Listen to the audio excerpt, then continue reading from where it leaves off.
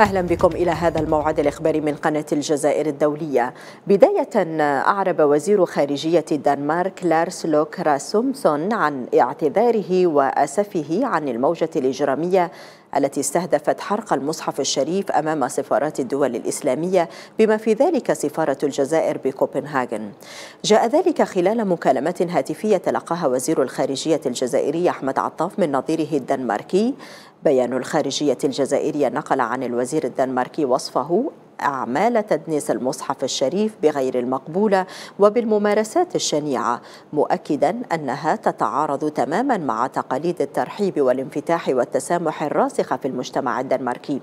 كما أبلغ رئيس الدبلوماسية الدنماركية نظيره الجزائري بأن حكومة بلاده بصدد وضع اللمسات الأخيرة على نص القانون الهادف لوضع حد لهذه الممارسات مضيفا أن النص يعرض على البرلمان حال استئناف دورته في غضون أربعة أسابيع. من جانب آخر أكدت الخارجية الجزائرية أن المكالمة الهاتفية شكلت فرصة لتبادل الآراء حول تحضير الدورة العشرين للمؤتمر الوزاري بين البلدان الإفريقية ودول الشمال. البيان ذكر أن الاجتماع سيعقد بالجزائر العاصمة في الفترة الممتدة من السادس عشر إلى الثامن عشر من أكتوبر المقبل تحت عنوان تعزيز الحوار على أساس القيم المشتركة.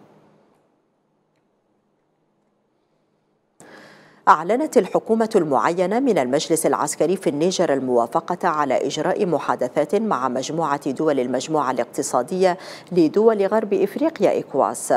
وذكر رئيس الوزراء المعين من قبل المجلس محمد الأمين الزين أن رئيس المجلس العسكري الجنرال عبد الرحمن تياني أعطى الضوء الأخضر لبدء المحادثات مع مجموعة دول إكواس معربا عن تفاؤله ببدء هذه المحادثات خلال الأيام القادمة في مسعى لحل الأزمة عبر دبلوماسية وتبديد الخيار العسكري.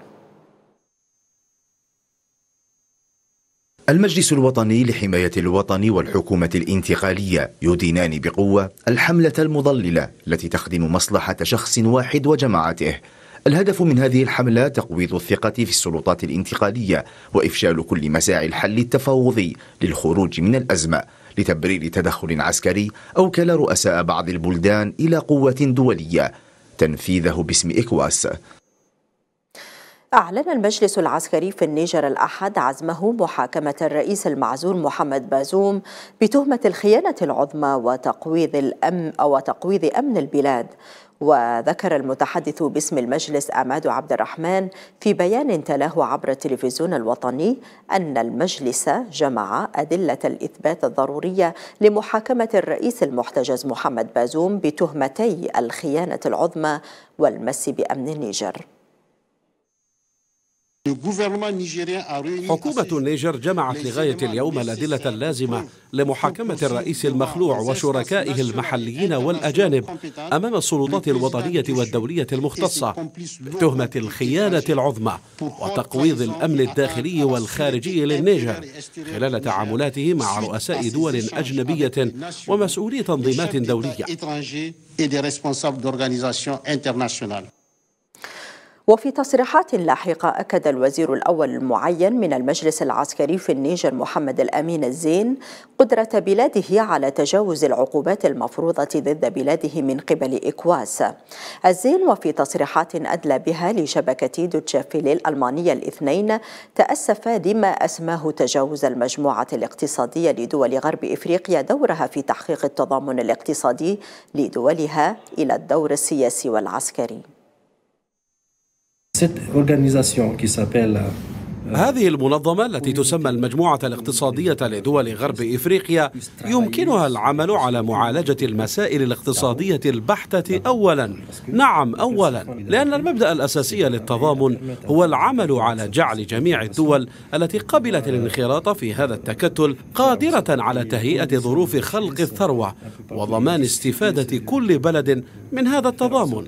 إذا لاحظنا أن المبدأ السياسي والعسكري قد يأخذ زمام المبادرة بدلا من هذا التضامن الاقتصادي فلا يسعنا إلا أن نأسف لذلك. نعتقد أن التحدي المفروض علينا حتى ولو كان غير منصف فلا بد أننا قادرون على تجاوزه وسنتجاوزه إن شاء الله. مرة أخرى نؤكد أننا نود بسرعة كبيرة إيجاد حل حتى يستعيد بلدنا الحياة الطبيعية. أعلن الاتحاد الإفريقي عن عقد اجتماع الاثنين لتقييم الوضع في النيجر وبحث حل لتسوية الأزمة في البلاد.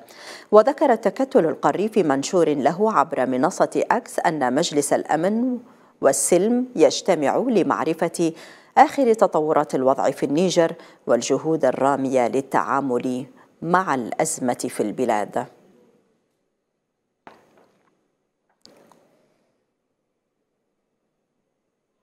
أعلن الجيش في مالي السيطرة على قاعدة عسكرية شمالي البلاد الأحد بعدما أخلتها بعثة الأمم المتحدة مينوسما الجيش وفي بيان له أوضح أن قواته استولت على معسكر بير إثر اشتباكات مع جماعات وصفها بالإرهابية ما أسفر عن سقوط ستة قتلى وأربعة جرحى في صفوف العسكريين دون أن يوضح الجيش في بيانه هوية الجماعات المسلحة التي اشتبكت مع قواته.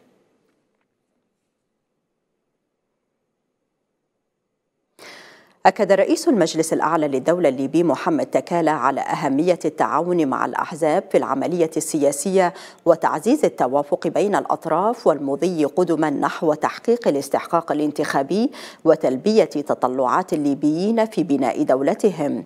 جاء ذلك لدى استقبال رئيس المجلس الأعلى للدولة الأحد رئيس حزب العدالة والبناء عماد البناني في مقر المجلس بالعاصمة الليبية طرابلس حيث أبدى البناني تطلعه إلى التعاون التعاون مع المجلس بما يخدم مصلحة البلاد حسب بيان للمجلس نشر عبر صفحته الرسمية فيسبوك.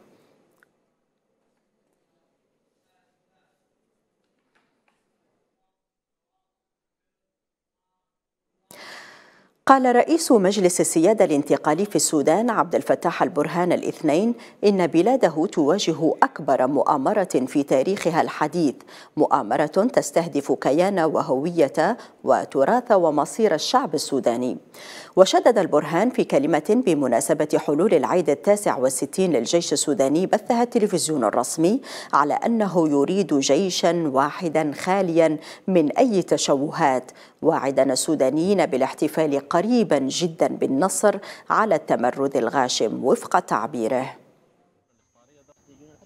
نستقبل في هذا اليوم ذكرى سودنة قيادة قواتكم المسلحة وبلادنا تواجه أكبر مؤامرة في تاريخها الحديث. تستهدف كيان وهوية وتراث مصير شعبنا الذي ظل منذ الخامس عشر من أبريل الماضي يواجه بصبر وإيمان أبشع فصول الإرهاب. نعاهدكم جميعا أيها الشرفاء أن نحتفل قريبا جدا وبعون الله وتوفيقه بالنصر المؤزر على هذا التمرد الغاشم وعلى أن نحافظ على هذا البلد وشعبه وأن نجنبه مستقبلا مغامرات كل متهور ومغامر وأن نبدأ ونواصل معا مسيرة البناء وإعادة تأهيل ما دمرته هذه الحرب. أثنى رئيس الوزراء الفلسطيني محمد شتية على إعلان الحكومة الأسترالية اعتبار الأراضي الفلسطينية محتلة بما فيها القدس الشرقية والمستوطنات الإسرائيلية غير قانونية حسب القانون الدولي. وأكد شتية في كلمة ألقاها في مستهل جلسة الحكومة الفلسطينية في مدينة رام الله الاثنين أن هذا التطور المهم في الموقف الأسترالي منسجم مع القانون الدولي وقرارات الأمم المتحدة معربا عن تطلعه إلى إلى اعتراف أستراليا بدولة فلسطين. بسم الله الرحمن مجلس الوزراء على إعلان الحكومة الأسترالية اعتبار أن الأراضي الفلسطينية محتلة بما فيها القدس الشرقية واعتبار المستوطنات الإسرائيلية غير قانونية غير قانونية حسب القانون الدولي. إن هذا التطور المهم في الموقف الأسترالي منسجم مع القانون الدولي وقرارات الأمم المتحدة ونتطلع إلى اعتراف أستراليا بدولة فلسطين. أعلن وزير الداخلية اللبناني بسام المولوي الاثنين رفع حالة الجاهزية الأمنية في عموم البلاد بعد أحداث عنف متفرقة شهدها لبنان في الآونة الأخيرة. المولوي وفي مؤتمر صحفي عقده بعد ترأسه اجتماع مجلس الأمن المركزي في بيروت قال إن الإجراء يشمل تشديد ترتيبات الأمن كزيادة نقاط التفتيش المفاجئة المفاجئة في الطرق وتكثيف الدوريات الأمنية كاشفا عن فتح تحقيق في الأحداث التي شغلت الرأي العام خلال الأسبوعين الأخيرين. منأكد قدام المواطنين وكل المواطنين معنا إنه ما في شيء بيعلى فوق القانون. المسار القضائي هو المسار السليم. دور القوى الأمنية كمكان ضروري وأمين ومأمون لتطبيق القانون وللسير نحو المواطنين إلى مكان أفضل. أعلن وزير الخارجية الإيراني حسين أمير عبد اللهيان عن تأديته زيارة إلى السعودية في الأيام القادمة دون تحديد موعد زيارة الرئيس الإيراني إبراهيم رئيسي إلى الرياض. عبد اللهيان وخلال مؤتمر صحفي عقده في طهران الاثنين أعرب عن استعداد بلاده لمساعدة السعودية في مجال مكافحة الإرهاب.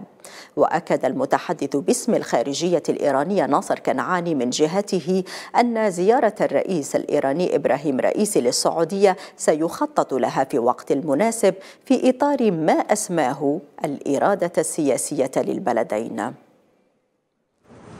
اصل برای دولت جمهوری اسلامی ایران و دستگاه زيارة الرئيس الإيراني إبراهيم رئيسي للمملكة العربية السعودية سيجرى التخطيط لها في الوقت المناسب في إطار الإرادة السياسية للبلدين.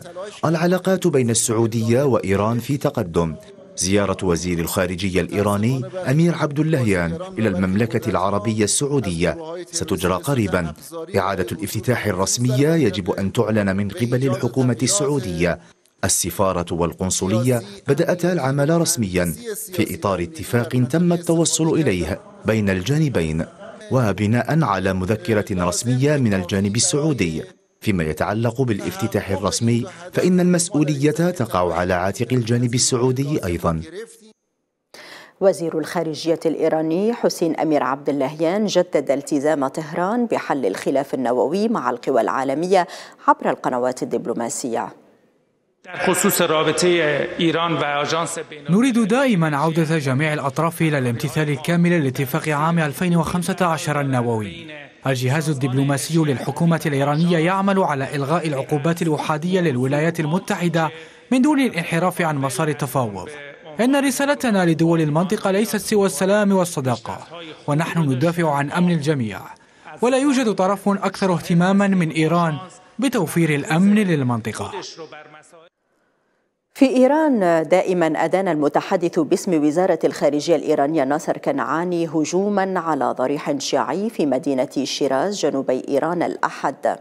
وقال المتحدث باسم الخارجية الإيرانية ناصر كنعاني خلال مؤتمر صحفي إن تنظيم داعش الإرهابي الذي ارتكب جميع أنواع الجرائم الشنيعة من أسباب انعدام الأمن بمنطقة غرب آسيا خلال السنوات الأخيرة ولولا دعم بعض الحكومات لتلك الجماعة لما حدثت هذه الوقائع مشيرا إلى القبض على الإرهابي المسؤول عن هذه الجريمة في اللحظات الأولى بفضل جهود الأجهزة الأمنية.